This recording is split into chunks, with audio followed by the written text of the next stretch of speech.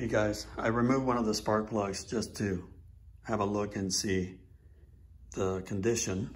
This is cylinder, number three. So you have one, three, five, seven, two, four, six, eight on the other side. And uh, I just, again, I wanted to have a look, check the overall condition. And anyway, um, as you can see, it's an, a Delco plug and it's the R45TS, which are the, the, the ones recommended by the manufacturer. I also wanted to check the, um, the gap and this one seems to be, yep, seems to be right at um, 0 0.0445, almost 4.5. And again, the condition is pretty good. I had these replaced, of course, when I had the motor rebuilt. And uh, and that was about 20, what, 20, two or 24,000 miles ago. I know I waited a little bit too long to, uh, to replace them, but as you will find out if you do this, it's a, it's a pain in the butt, but it is doable. So, and it's, it's a good idea to replace, I think, the spark plugs every, I'm gonna try to do it from now on every 10,000 miles. This one looks pretty good and um, it's a little seems a little bit melted there but again I'm not an expert. This is just the ceramic portion of it. You can see the electrode everything looks pretty decent. Um, no oil. It's just actually in really nice condition but ready to be replaced. So anyway again I just wanted to to show you one of the old plugs. And again, this one has about 22 to 24,000 miles. I think with the new ones, we're gonna have better ignition, better, better starting, um, idling. Let me get a flashlight, see if I can improve this a little bit and see how, how much you can actually see here.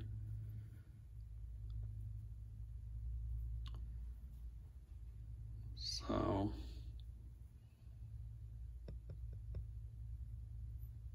yeah, it is pretty decent, which is which is a good sign. Again, you want to make sure that you use the right tools for the job. And this is um, a 5 8 um, spark plug socket. I don't know if you can see, you probably cannot. See if we can shine some light in there. Yeah, a little bit. You can see the rubber insert. And what that does, if you've never done this, once you get this tool, you can see the resistance as it goes in. And then it'll just hold the plug, which is really nice when you want to take it out of the engine and then reinstall the new ones uh, or install the new ones. These could be cleaned a little bit, but again, I'm just at about two, under three bucks per plug. It is, um, it is a good idea to just go ahead and replace them. That's pretty snug in there. Hump. Never fails, the retainer kind of came off. That just kind of stays in there, supposed to anyway. But, uh, so that's it. Um, and then we'll go over a few other things. Let's see if this will, yeah. We'll go over a few things as far as coating the um, ceramic portion, of the porcelain, with um, a little bit of uh, dielectric grease and also applying a tiny bit of anti-seize on the threads. So we'll discuss that uh, a little later. Alrighty, that's it for now. Thanks for watching. Okay, so I set up my camera here, my phone, with a little tripod inside the, uh, the engine compartment. I don't know how this is gonna work, but uh, anyway, I already, as I showed you, I uh, you probably can't see much, but anyway, I, removed the uh, number three plug, and under here is number one. So let's rotate the boot a little bit. Oh, ouch. Of course, along with it came the um, temperature sender uh, connector. So I'm gonna have to reinstall that probably after I'm done here. It's not that difficult. It just kind of snaps in, in place.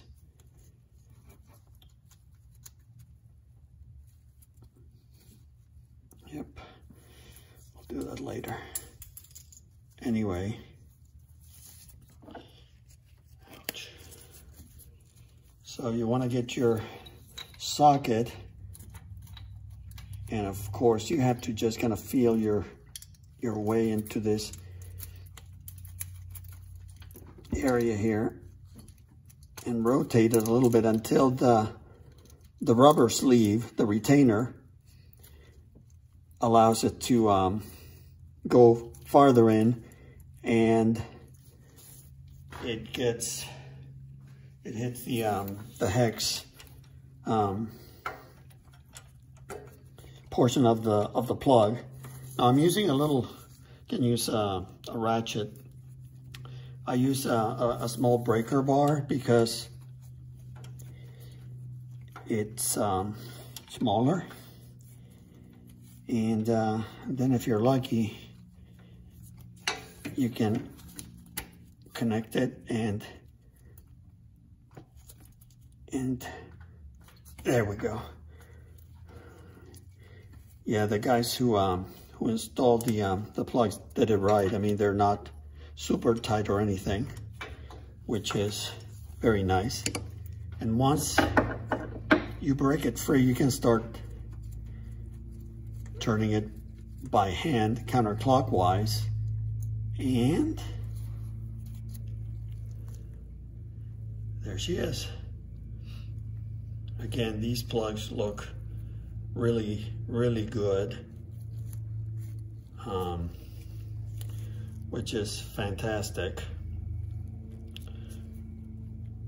Maybe, maybe it's running a little bit on the lean side because of all the white that you see there, so I'm gonna have to look into that. But otherwise, they look really, really good. And of course I did number one and three, which are the easiest ones to do. Then you have five and seven. I don't know if I can get to those from the top. Hey, anything is possible, but I may just use the, um, my, um, back there you can see the quick jacks and, uh, and work from, from under the car. So anyway, again, I just wanted to, um, to show you the um, number one plug. Again, I'm very happy with how these uh, look. So, just waiting for the new ones to uh, come in the mail today. So, I'll make another video when I when I start um, installing new plugs. All right, that's it, guys. Later. So I have all the spark plugs out for the left side of the motor. And uh, to get numbers five and seven, I had to use the ratchet and uh, I also had to use this swivel universal socket adapter. So I have them numbered and um, all the gaps are fine. However, when inspecting plug number five, first thing I notice is there's a lot of buildup. Hope you can see that. I think it's pretty obvious. Look at that. And um, seems a lot dirtier and, and kind of burned than the other plugs. For comparison purposes, this is number seven. So I hope you can see the uh, the difference. One thing that I don't know if you can tell by looking at it like that. And that's why it's a good idea to always have your your tools handy so you can see what the differences are. All of these, this is number one. Sorry, I keep getting out of frame here. It's right at 0.0 four which is perfect. Number three, again, is at almost there at 0.045, maybe 4.4, and that's actually how they uh, how they are gapped at the manufacturer but that one is okay. Let's jump to, let's jump to number seven. And again, stops right there. Almost right at 0.045. So one, three, and seven are fine. This one, and I know it's a little dirty, but still we're gonna try to, to run this um, little gauge here. And the gap here, and I'm kind of forcing it there, it will not go beyond 0.041. So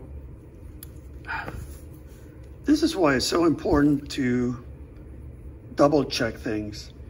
You can see the obvious buildup there. This is not going to help an engine run better, quite the uh, contrary. And um, again, this is why you have to check, double check, triple check, whatever is necessary to make sure that all the components are set up properly. Otherwise, the, the motor ain't to run right. I mean, there's, you know, it's to run okay, but things like, like this are avoidable. And again, the mechanic, the guy who rebuilt the engine, or actually the mechanics who, um, who installed the, um, the spark plugs, should have double checked this. It takes a few seconds. Heck, even if it's a, a few minutes. But everybody is always rushing, trying to get things done, and this is the, uh, the end result.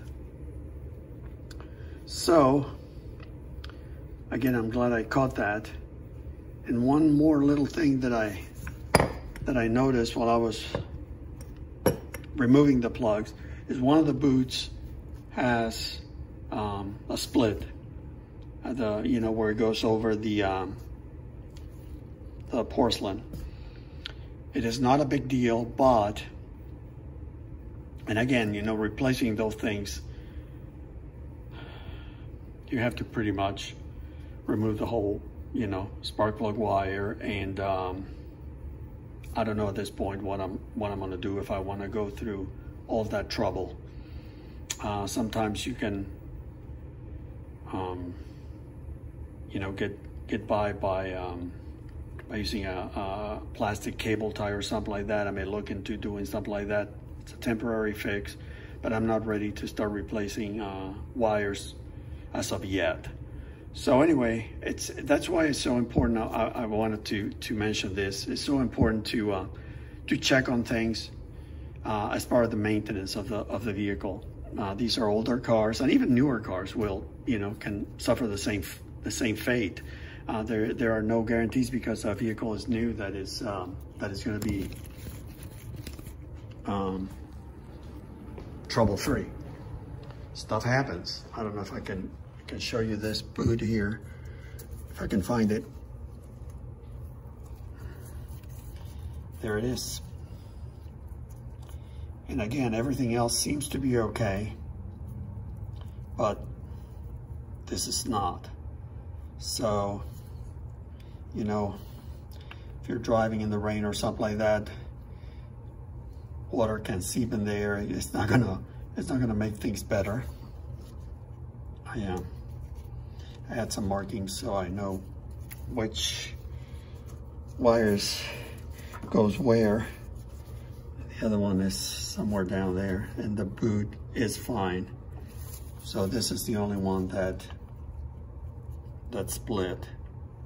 Not a big deal, but I'm glad I'm, at least I'm aware of that. So, anyway, Um, I just want to point that out.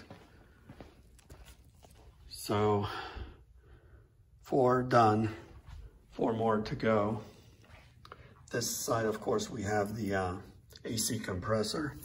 So we have number two back here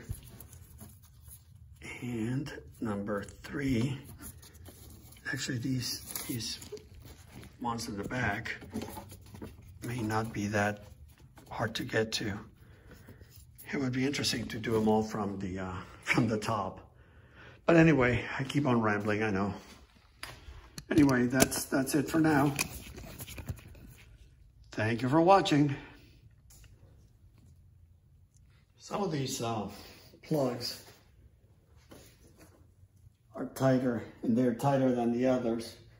And before you start doing some damage or something silly, sometimes the only alternative, which I know to a lot of you guys is gonna be like, no kidding, Sherlock, having a some kind of an extension bar. This is from an old floor jack.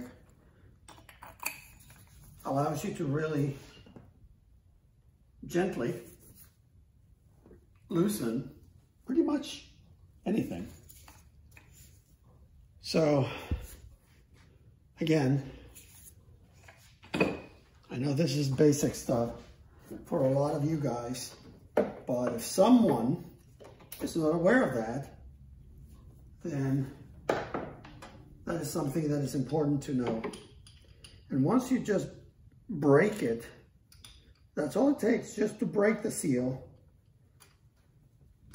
You can use your ratchet Listen to that sound, it's like music. And voila, the plug is out.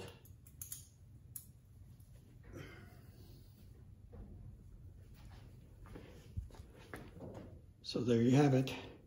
I thought I mentioned that because not everybody knows all those little tricks and you don't want to start looking for a big hammer to do something that a little leverage will take care of. This one is a little, I mean, it looks fine, but it's a little dirty, so I'm gonna have to check the gap. So, but anyway, that's one little tip that I wanted to point out. Again, I hope it helps someone. Alrighty. So here I have the one I just removed, number six. And again, it's a little dirtier and what is the term? Funky looking? I don't know. There's a lot of stuff in there that doesn't look right. So, again, using my little gauge here,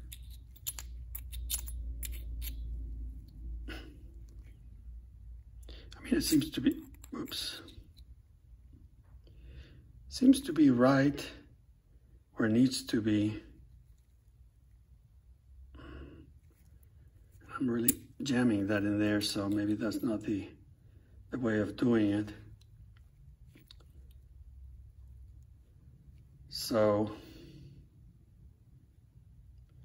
yeah, maybe this one also is a little bit in need of proper adjustment.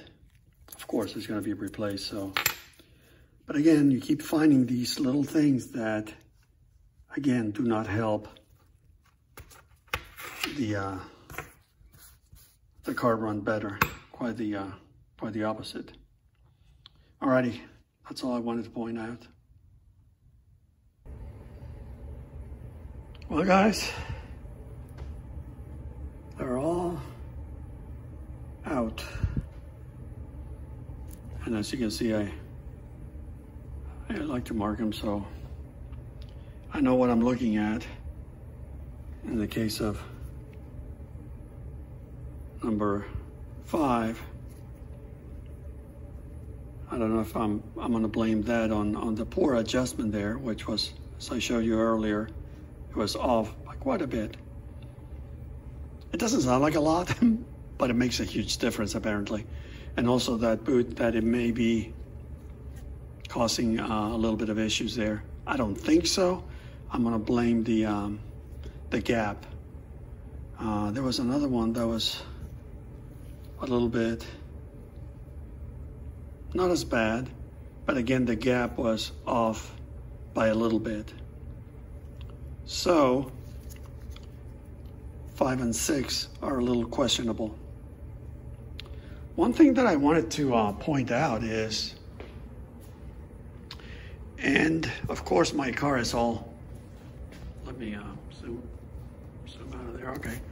Um, as you can see, my car is pretty um, original factory, whatever.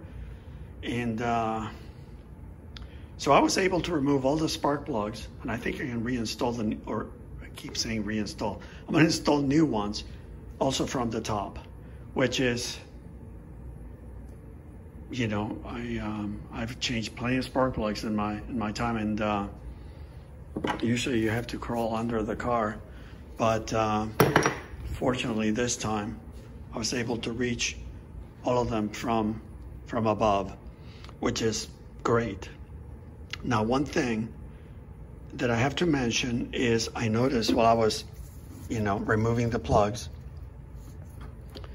Um, some of my older Vettes had little shields and uh, this one does not have those shields. I didn't take them off. They they were not there when I when I got the car, and I never noticed that. And then when they rebuilt the engine, I you know I was I wasn't paying attention. Otherwise, I might have bought some used ones and you know and installed them. But what I'm trying to say is that maybe, and it's a big maybe, if those shields were there, which fit right around the um, the horns here, the um, the exhaust manifold, and they help shield heat, I guess, to a certain degree from affecting the uh, the boots and all of that stuff. So my point is, I don't know if because mine does not have those, that I was able to do it from above. So, you know, if, if you're going to do the same thing to your car, you may run into different issues. And again, a car that has headers is gonna be, access is gonna be a little different. So, you know, every car has its own nuances. So I just wanted to point that out because the reason I was able to do it is just maybe a fluke or whatever, but not every case is gonna be the same. So that's my caveat there for, for that, uh, when it comes to that. So anyway, again, the plugs are out. I'm just waiting for the new ones to arrive and uh, we'll go over how I prep them. We're of course gonna measure all the gaps, make sure that they're right at where they should be at uh, 0.045 and and then I'll install them. So until then, again, thank you for watching. I just got the package from Amazon. I don't know what the heck they did in here. But have a look. Oh yeah, it's just dumping them in there. So again, you know, these um, spark plugs have traveled quite a bit.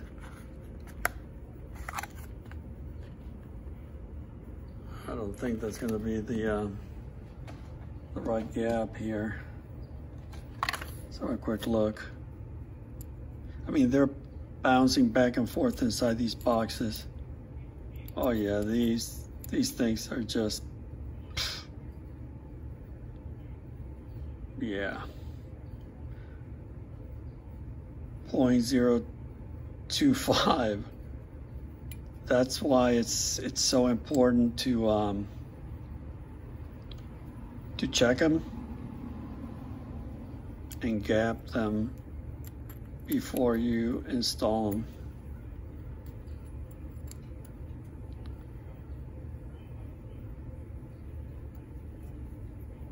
Let's see how we're doing here. This is not enough yet.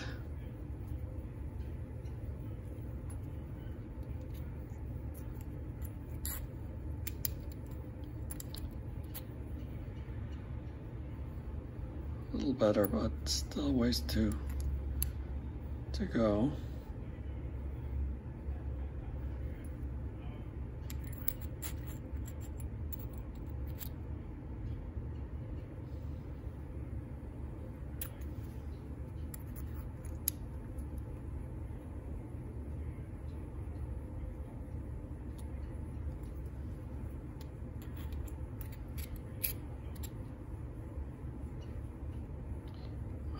almost there.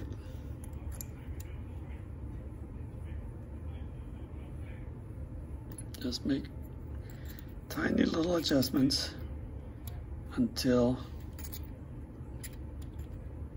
you're there, but um,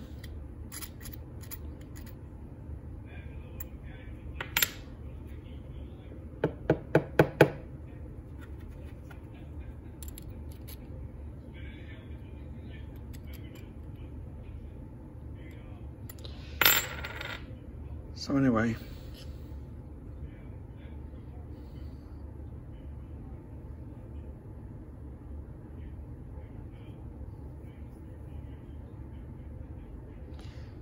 Gonna adjust each and every one and uh, we'll be back soon. Okay, so I gapped all the all the plugs, the new plugs, and uh, they were all off not by a whole lot in some cases. Others were off by quite a bit. Anyway, before installing them, I like to prep each and every plug. And to do that, you're gonna need, and this is optional, I like to do it. So I, uh, I think it's a good idea. Anyway, you need a little bit of uh, anti-seize and dielectric grease. So, and I'm gonna do one just to show you. What you wanna do is take a little bit of the anti-seize and you want to apply that to the to the threads. You don't want to use a whole lot, just enough to lightly coat the threads. And this stuff, as you probably, if you if you've used this before, you know that it goes everywhere. So that's that part. And then what you want to do is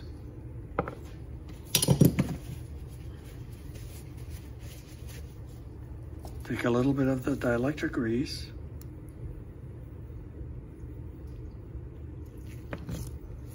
and you want to cover or give a light coat to the ceramic portion or the porcelain and around like this. And that's all that's needed for that. Now, you don't want to apply this stuff or anti-seize to the ends of the plug. So those have to be left alone and clean. And, uh, but anyway, then can set that one aside and do each and every one of them. All right? So they're ready to go. They're all coated with uh, dielectric grease and the anti-seize. Just a little bit, goes a long way. And uh, again, I think I showed you uh, earlier, the um, spark plug socket has a little retainer in there so that allows you to um, to move the spark plug, you know, put it upside down, whatever, and uh, and it doesn't fall out of there. So that's a good thing to uh, always use the right tool for the for the job. But uh, I'm using an old spark plug here for demonstration purposes. One thing that um, sometimes is a little too big to get in there and, and start threading the, the plug. We've, we've done this for years. Um, it's an old trick. You take an old small piece of a rubber hose or a vacuum tube and you just attach it to the end of the plug and that gives you usually works well when you're working on motorcycles and you need to um, get the spark plug started but it can also uh, work when you're working sideways. And um, you just want to be very careful not to cross thread the um, the um, the plug because that'll give you a lot of heartburn for a very long time. It'll cost you a whole bunch of money. You don't want to do that. And again, all the plugs have been gapped, so I am ready to go.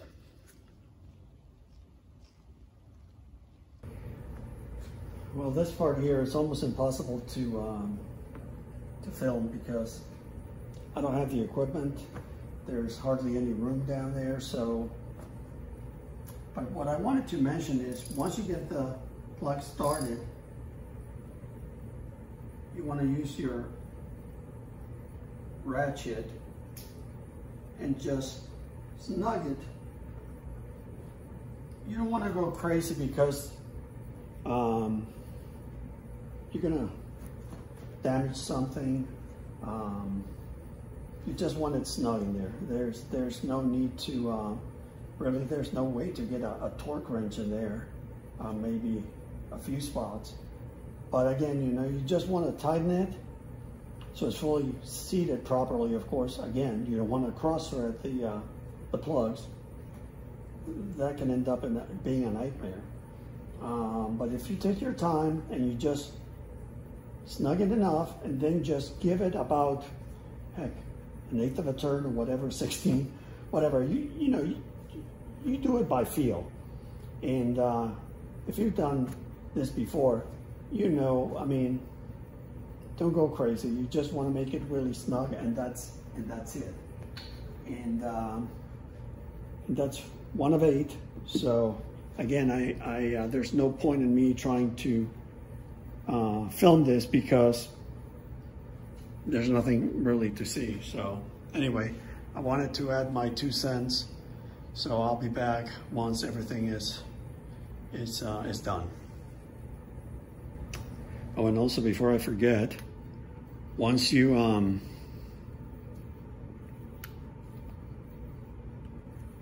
once the plug is in, you want to take the, the boot, slip it over the plug, of course, and make sure that it, it'll kind of give you like a click um, noise once it goes over the, um, the top of the plug and uh, it's plugged in properly. It'll, it'll almost give you like a clicking sound. So make sure that, again, take your time, put the boot on, on top of it, and just work it in and then snap it in place. It'll it'll click, and um, you want to you want to make sure that they're seated properly. That's that's pretty much it.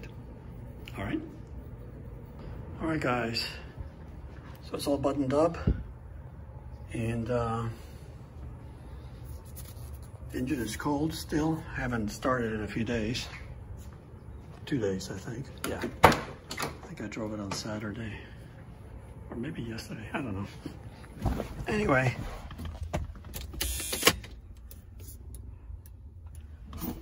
Let's see what happens.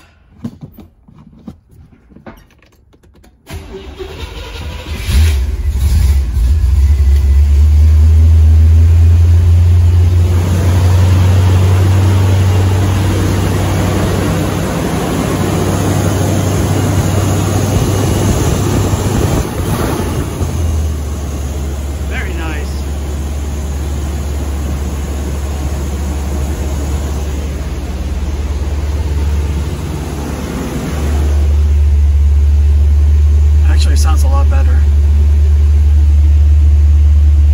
So that is awesome.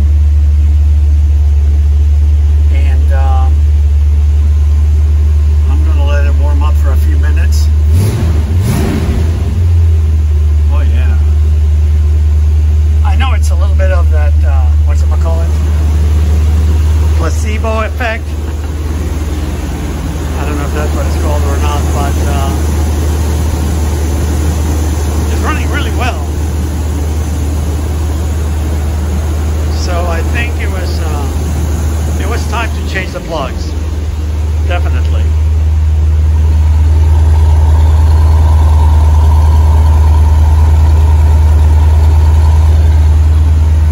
Oh yeah.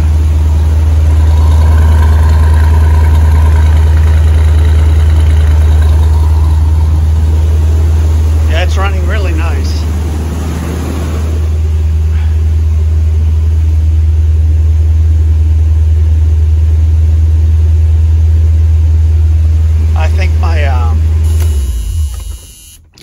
check the, um, pretty sure I connected that um, sending unit. Oh no, it's loose.